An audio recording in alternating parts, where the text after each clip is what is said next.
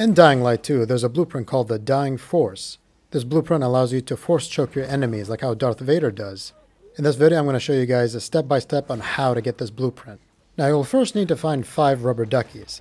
The first one is in Old Villedor in Houndfield. It's in the chemical waste area and if you follow the screen you'll find it exactly right here.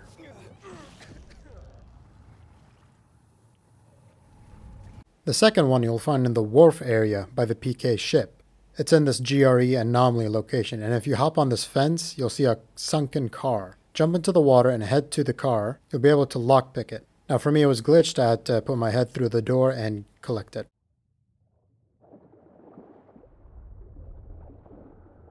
The third one you can find at the lower dam air. I'm not sure if I said that correctly. And you'll find it barely hugging the renegade territory.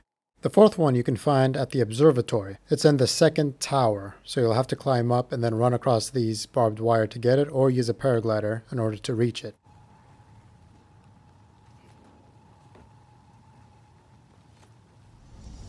And the last one you'll find at the VNC tower. Go up to the roof and then jump down to this little room. You'll find a safe and the code is 666.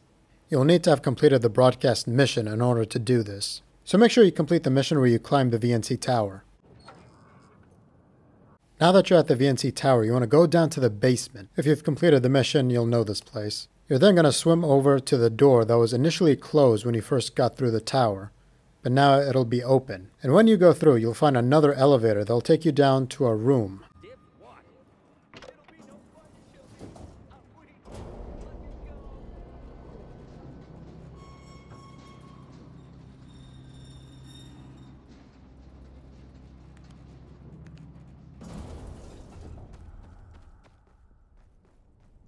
The room is very unique and it has five tables. With these five tables, you're going to set down the rubber duckies. After you've placed all the rubber duckies, you're going to use the cables and make a pentagram. Now I recommend you just follow what I do on screen rather than try to make one because you need to do it in a specific way for this to work.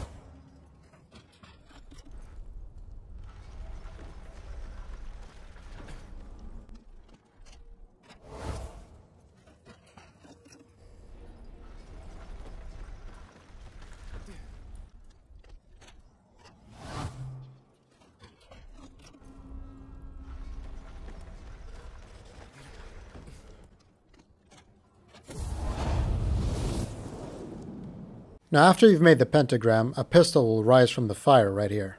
This pistol will be a challenge for you to accept. Accept the challenge and then follow this path and you'll find a secret passage that you can open.